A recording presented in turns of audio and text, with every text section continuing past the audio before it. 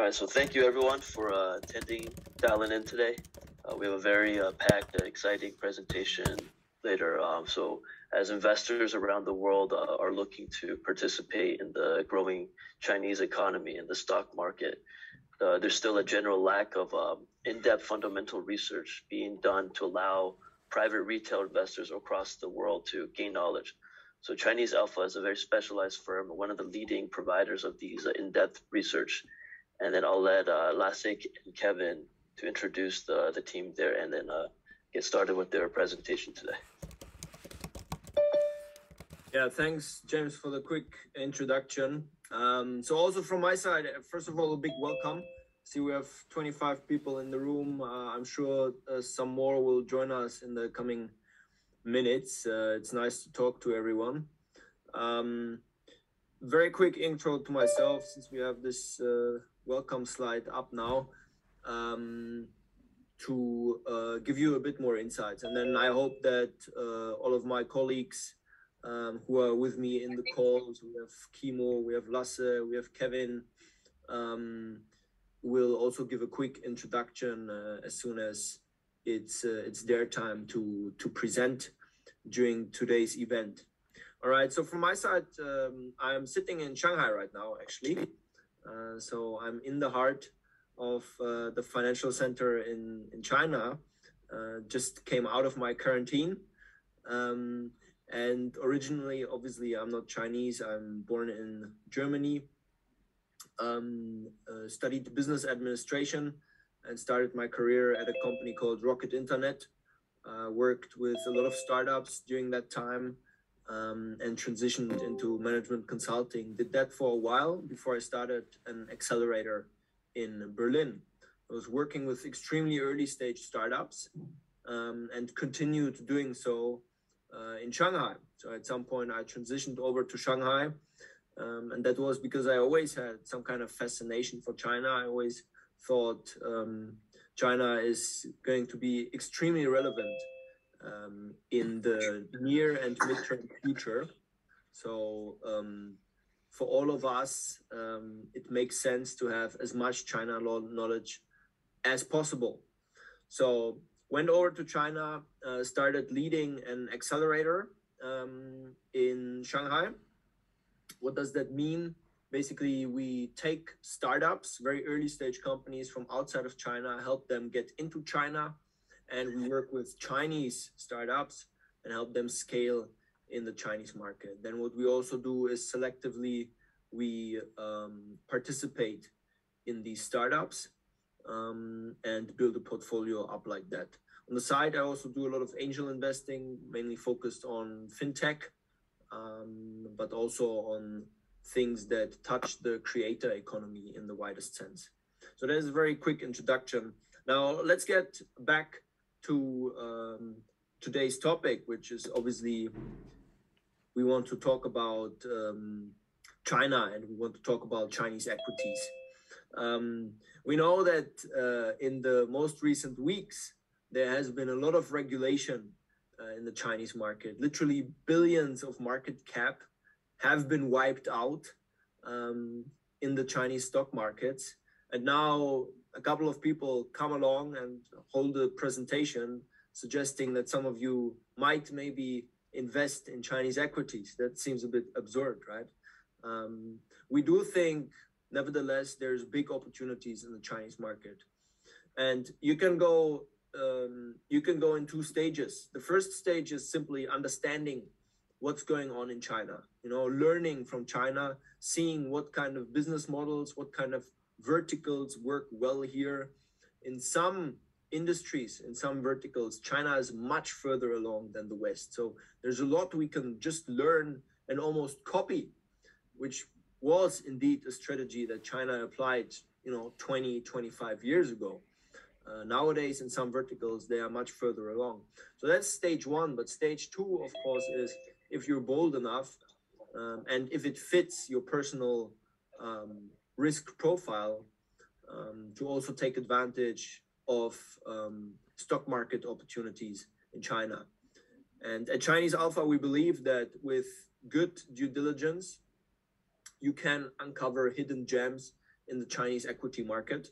Um, and we give our best with a great team of people that have experience on the ground in China, people that have experience researching equities, doing equity research um, to provide investment banking grade research for everyone who's interested. So um, I encourage all of you before we head into this presentation um, to check out our website, ChineseAlpha.com. There's a lot of free resources up there. So I'm sure everybody will be able to learn something. Of course, we also, how we monetize ourselves is through a premium subscription. So for anyone who is a hardcore fan and thinks they want to really start investing in the Chinese market, there's a, a premium subscription where you get access to some of our knowledge, to some of our uh, equity research analysts that you'll be able to talk to directly, get investment advice, and so on. Um, and lastly, we also have a great Telegram group. Uh, we're starting a YouTube channel, so we're very active out there. Um, and I would venture and say that we are the only um, platform out there providing this kind of deep research on Chinese small, mid cap, and even large cap stocks. Now, with that being said, I want to uh, give the word to my colleague Kevin. Um, he'll give a short introduction about himself too, and then start with the main part of the presentation. And for me, uh, I wish you all the best and uh, lots of fun. And hit us up with a lot of questions in the Q and A section afterwards.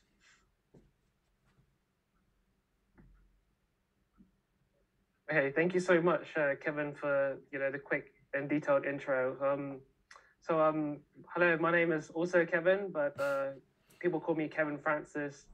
So, um, essentially, I act as the equity research lead here at Chinese Alpha, where I conduct research on small to mid cap Chinese companies as well as in financial modeling, where um, primarily my um, background is in investment banking. So I was a former analyst at Citibank and JP Morgan in the APAC division, and also um, just a little bit of experience in the sales and trading department. Also, um, in my personal life, I actually come from a life science background.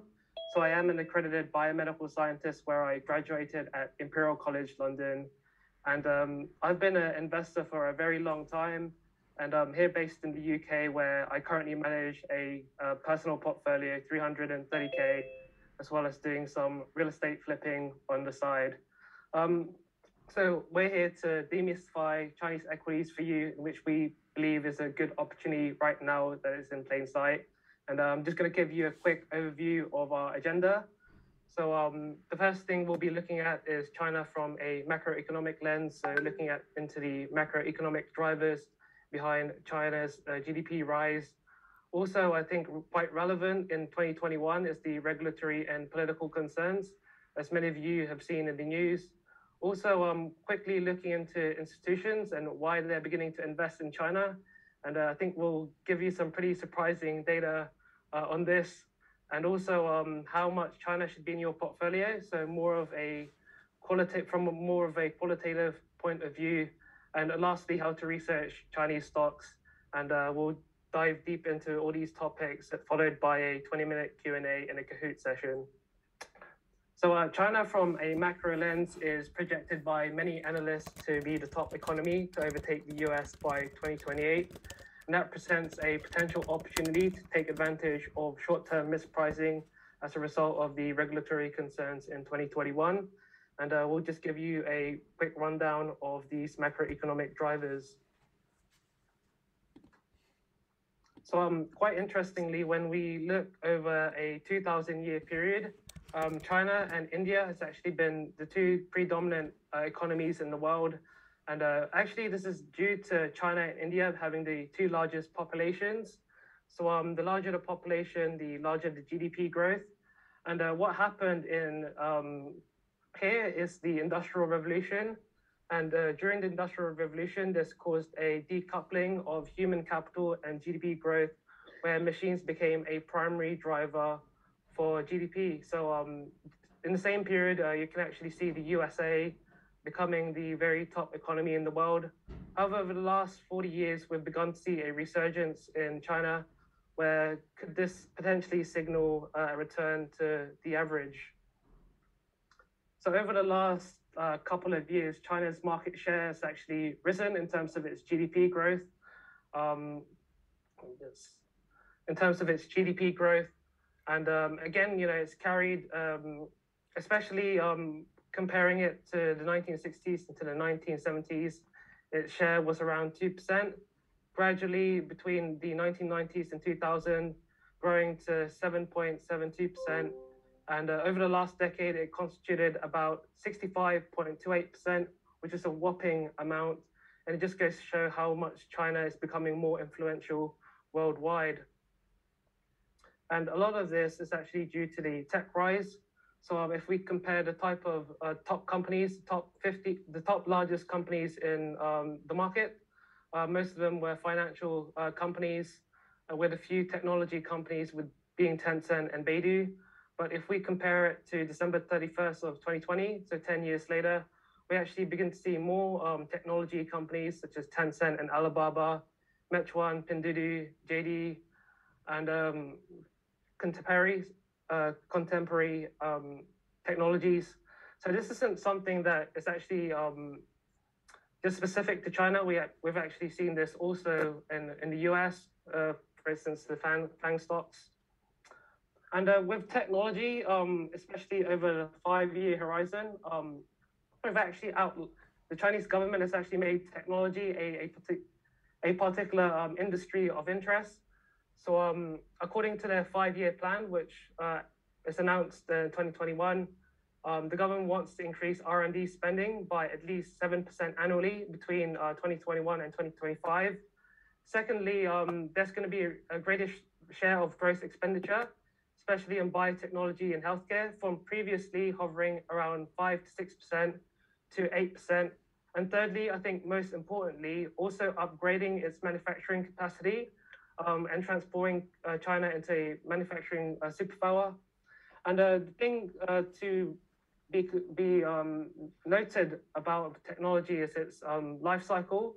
Some technology companies, in our opinion, tend to have very short business life cycles, simply because there are there are lower barriers to entry, and also there's a lot of competition in the space uh, meaning that technology companies can grow very quickly and, um, and decline at the same time due to the same uh, issues in which uh, causes it to rapidly grow. So in terms of the impact of the technology, um, China's labor costs actually enabled it to become the top manufacturing factory in the world. And again, off the back of these government policies and companies' entrepreneurial vision, we actually view technology as a potential growth engine, for China. And um, importantly, um, the tech actually has um, effects on other industries such as manufacturing, uh, for instance, um, on e-mobility, and also uh, right stemming from um, cost reduction in lithium-ion batteries, and also um, because of policies orientated towards cleaner energy, mentioned by Xi Jinping, this has driven a shift towards the electrification of transport. And also, according to Moore's law, the miniaturization of wireless chips, display, and batteries can continue to support the Chinese economy. And the reason to why manufacturing is so uh, important is because of this decline in um, a shifting age demographic in China. So not a lot of people um, actually, I don't think a lot of um, people in the market um, actually understand this, but in China, um, there's a, there's an aging population, so the people aged between 20 and 24 declining, and an aging there is an aging population, and because of this, um, it's actually causing a drag on the economy, and therefore um, it is essential for um, manufacturing industry to become more reliant on technology in order to ensure that GDP growth is uh, continuing to grow over a longer period of time. So um, the primary drivers behind China's tremendous growth is primarily due to a, a good labor force. Again, you know, labor productivity increasing from three to 15 hours, which um, again, it's not necessarily profitable for businesses to continue hiring. Hence why um, there's been a shift towards uh, technology and automation. Also, large-scale capital investment, again from governments and foreign investment reforms, and that has funded a tremendous productivity growth. And lastly, and I think most importantly, because China joined the World Trade Organization in 2001, this enabled China to um, increase its exports and directly impact the global economy. And again, in terms of future growth, we have four main drivers that we've identified. So the first is to promote free and fair competition through regulatory changes. That is something that I will touch upon uh, much later on. Also, a mid middle class uh, demographic that is rising. Again, uh, rising wages, uh, which actually leads towards a shift towards a consumer driven economy. And last of all, we see manufacturing as a mainstay. However, the difference is it won't be as capital intensive as technology begins to replace labor. And uh, here are six key industries in which the Chinese government has um, taken into consideration um, from biotechnology to high-end manufacturing. So um, as many of you know, um, there have been a lot of regulatory concerns in 2021 as the companies began to expand at a very strong rate. And um, we're beginning to see, because of this growth, um, we're sort, of seeing a tussle between growth and um, and control, and that's something that I'd like to talk about. So, um, so the differences between regulations between U.S. and China. In China, um, regulations tend to be a lot more decisive and quicker, where the Chinese government can change the competitive balance a lot more decisively than its democratic counterparts. And also, a weak political opposition also results in more permanent changes. So, go, so in in more um, Western uh, societies, uh, government regulations tend, tend to have um, they have to run through a gauntlet of legal challenge before becoming law. In China, it doesn't have to run on so many legal challenges. Um, therefore, this results in permanent changes. So a lot of people ask, what is the end goal of the CCP? Is it growth or is it control? And uh, the tussle between these two actually explains much of the regulatory crackdowns in which we've seen on Chinese equities. So um, I think if you don't understand anything, I think um, business goals should must be fully state aligned. Um, if you don't remember any of this. So in terms of the regulatory consequences, um, we believe that all of this is due to China's leadership trying to aim for a period of qualitative growth. That is to ensure that growth is strategic and is also aligned with their policies.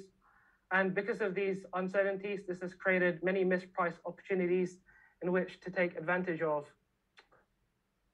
And again, you know, 2021, the year of the regulations, just a quick pun. So how do these regulations actually affect business operations? And uh, we've actually um, shortly outlined it. So, for instance, how uh, government acting as a buyer of products. So the green stuff is good for all these factors in the DCF, and red is bad for all these factors in the DCF. So government as a buyer of products obviously increases revenue growth. However, you know, a antitrust or market share restrictions uh, will reduce the revenue growth over a, a period of time, which will result in a lower valuation and also um, lending to companies at subsidized rates and restricting lending can also affect costs of debt. But this is something that um, we believe that you should look at in your own time, and we'll be sharing this presentation in the Telegram group. So understanding uh, the Chinese uh, share types, uh, this is quite convoluted. So essentially, there are two main categories: onshore uh, share types and offshore share types. So um, in terms of onshore, there are A shares and B shares, and these are typically traded on the Shanghai or Shenzhen um, stock exchanges. And for the A shares, it's kind of restricted to retail investors. However, um, some international investors, institutions, can um, actually um, go through a special program in order to be able to invest. With B shares, on the other hand, um, they are open to foreign investors. However, they're not quite as popular because of their relatively small universe and in terms of offshore, um, you have your Hong Kong um, stocks, so H shares, as well as in red, red chip um, stocks.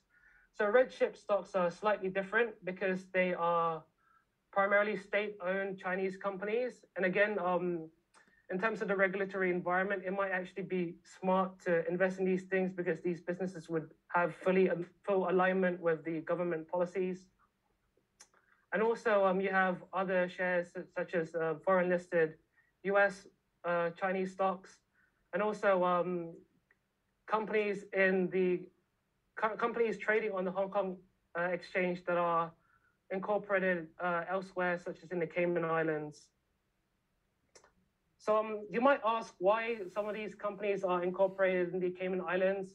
So um, this is actually uh, called a variable interest entity, and uh, this enables these companies to raise capital. And um, essentially, these companies would typically be in sensitive areas in where government has restricted foreigners to own shares of the company. So in order to get around this, um, these businesses create a legal structure, um, which is typically an offshore shell company in the Cayman Islands. And these, this offshore shell company has a contractual agreement to be able to absorb profits from its onshore operating company. So what does that mean to you retail investors out there?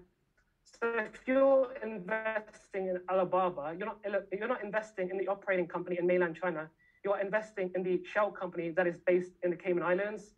And because of that, um, unfortunately, retail investors don't have much of a say on how the operation is run. And if you want to challenge these contractual agreements, you can't go to the SEC. You must go to China, and you must uh, challenge it in Chinese court, which uh, kind of sucks uh, for you and me.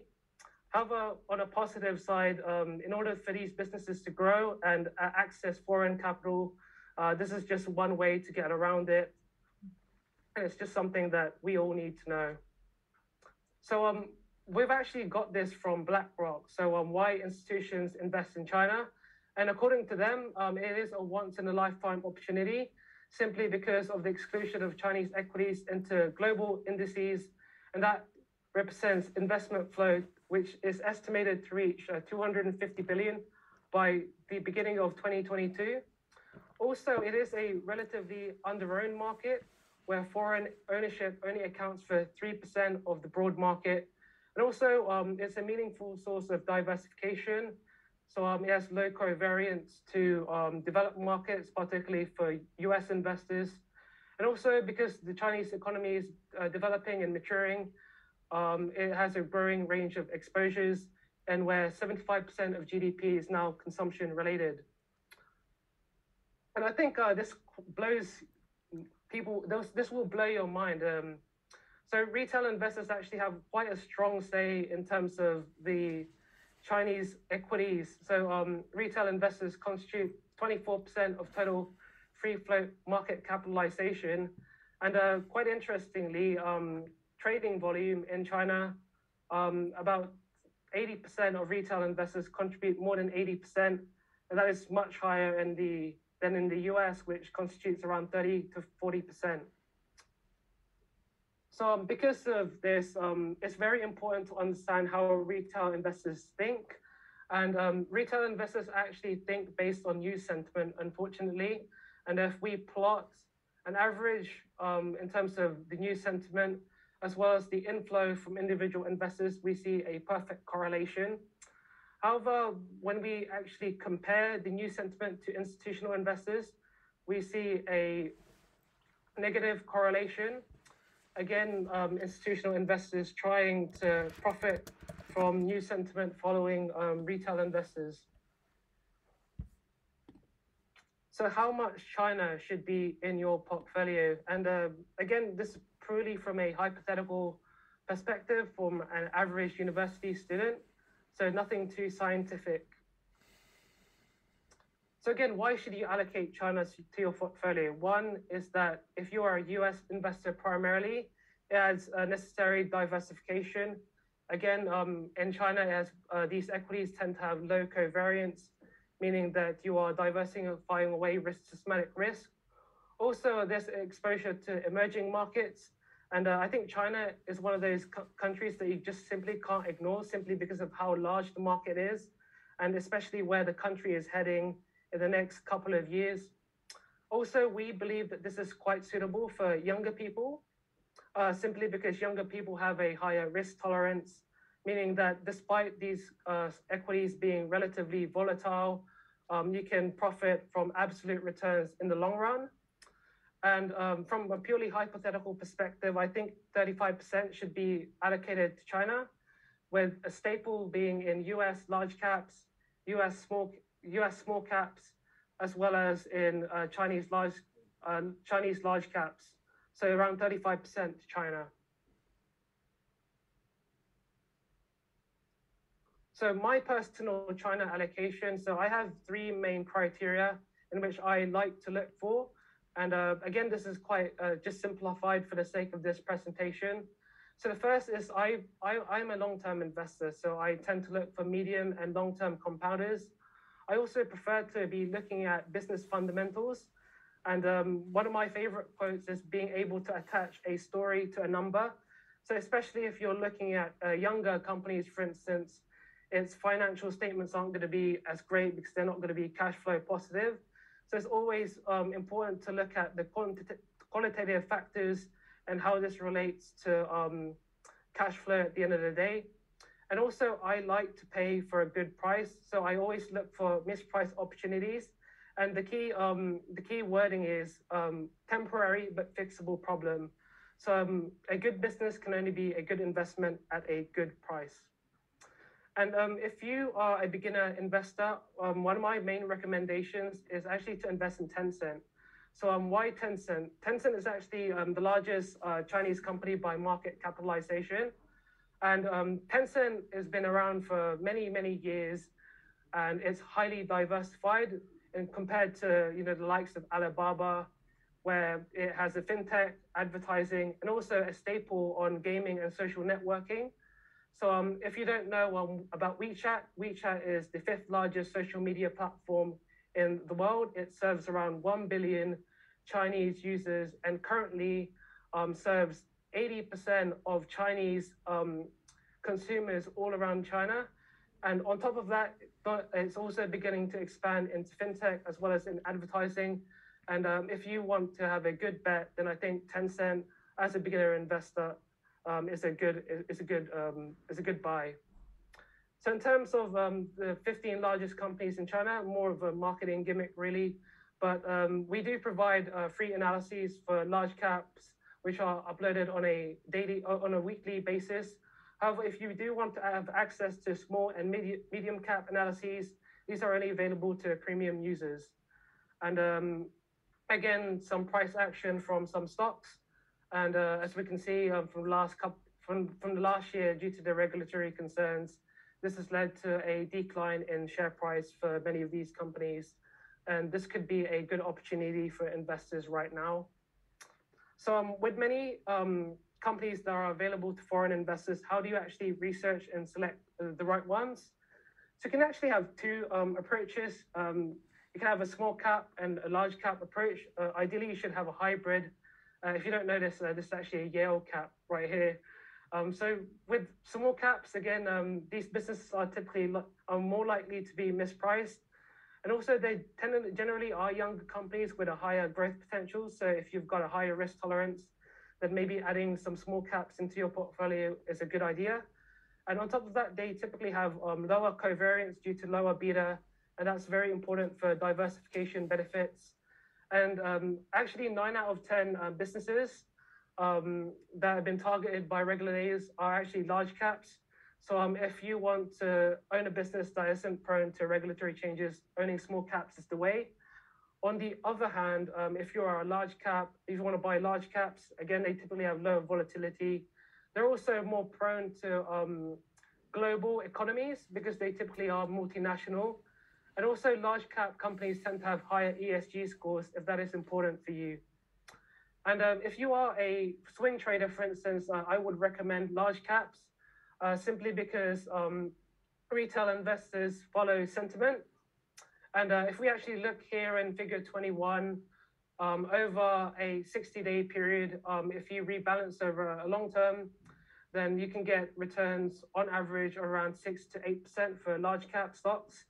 And uh, if you compare large caps to small caps, for instance, so um, you can see average sentiment being higher for these uh, companies. And also with the new sentiment scores, the sentiments tend to be a lot higher. And uh, the thing is, um, with trading, that it's very important to understand um, how retail investors are feeling simply because they constitute a lot 80% of the trading volume uh, in Chinese equities.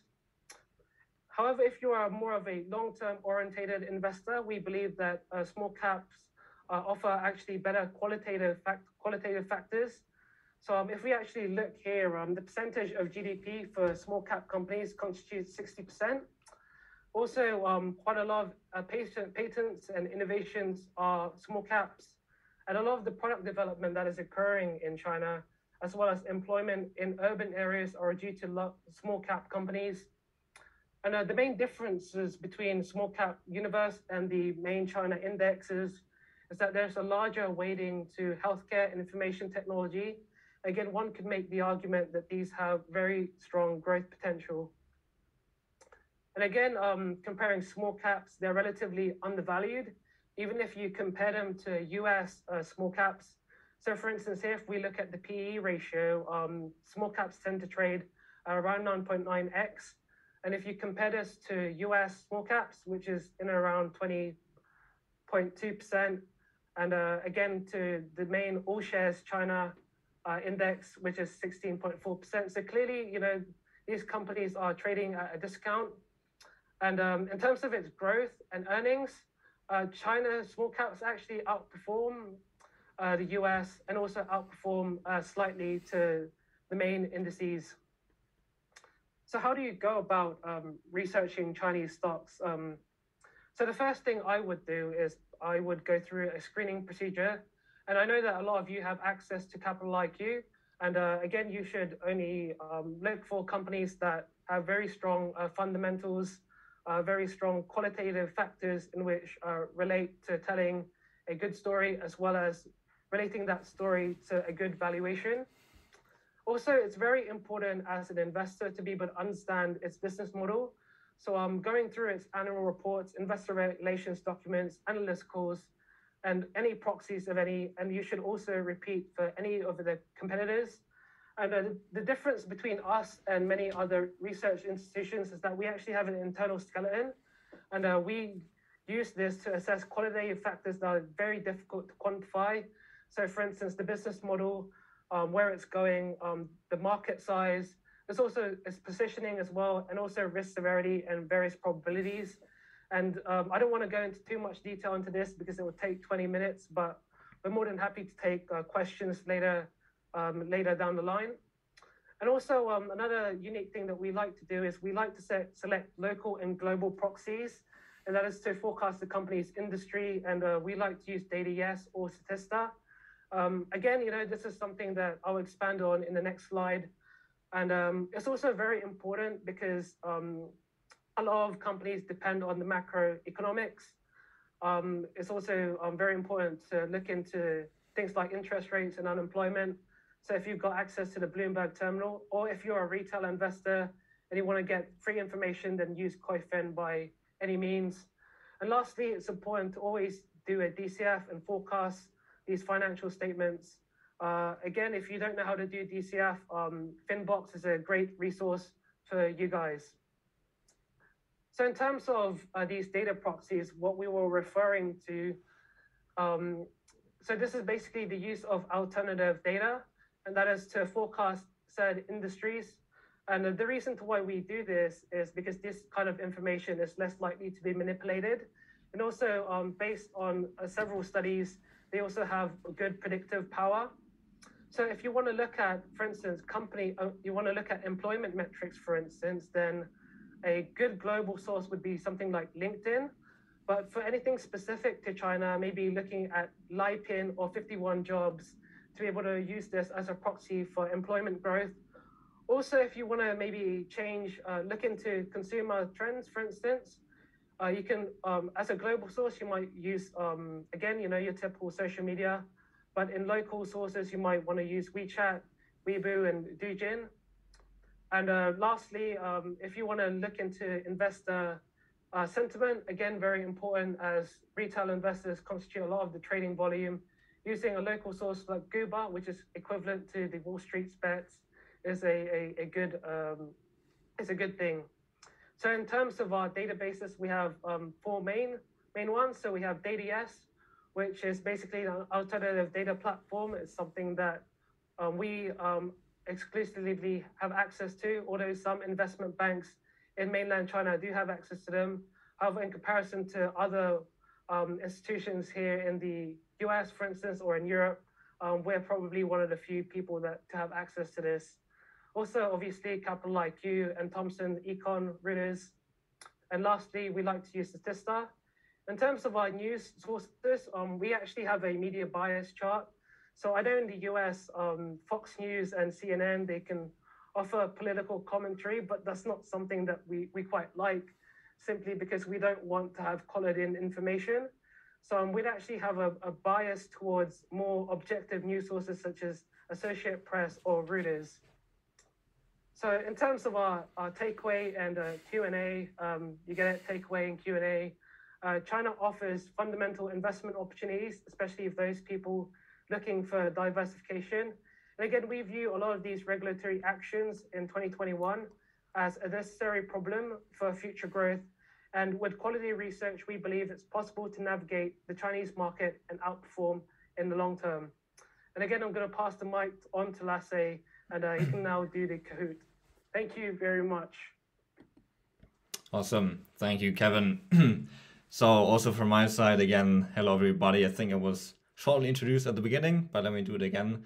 So, I'm Lasse Radke. Um, I'm a founding member of Chinese Alpha. And myself, I've been in the venture building space for two years now about that. And um, I'm located in Munich, so you know exactly where the beer is so good. so if anybody ever happens to be in Munich sometime, uh, you know, just send me a message on LinkedIn or something. We can grab a beer or something. Um, but you know, this is now the team, an overview about our founding team and the equity research analysts. There are some people, also you know, for example, the marketing team, but those are, you know, the guys who who write the analyses. That's quite important. You know, below you can see the QR code of our LinkedIn accounts. Um, you know, make sure to to you know uh, scan that if you're interested in connecting to us. Uh, Jason Richter on the right, he's not here today. He's basically based in uh, Massachusetts right now. Um, he's been working at JP Morgan for three years now at Moderna. Um, you know, just as an introduction, he's not here today, but the rest is. So you know, grab your phones or something and scan the QR code if you want, or just type in our names on LinkedIn. Um, you know, happy to connect with you and talk about anything, or you know, grab the beer Munich any anytime. um, but you know, uh, the the last slide now in a second will be around how you can follow us, follow what's going on in China. So basically, on the right, this is our Telegram group, uh, how you can join. So basically, this is a a group with global people who are interested in China, exchanging opinions.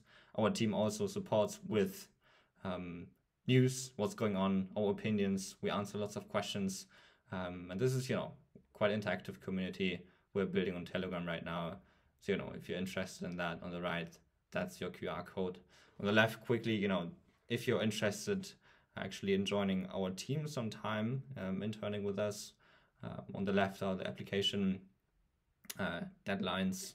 Um, you know, just to write down if you're interested in that. That's how you can really get into our team, possibly.